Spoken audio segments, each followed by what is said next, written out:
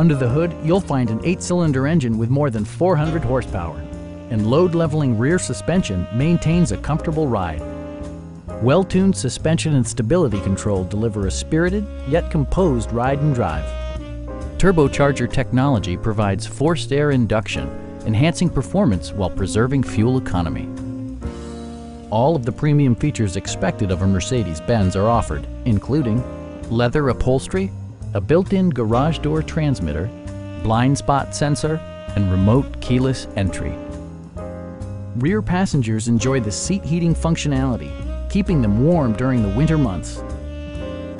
Mercedes-Benz also prioritized safety and security by including head curtain airbags, anti-whiplash front head restraints, an emergency communication system, and four-wheel disc brakes with ABS.